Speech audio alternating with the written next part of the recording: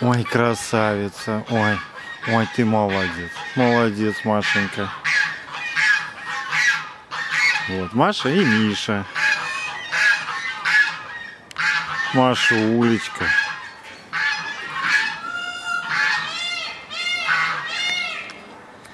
Мишка.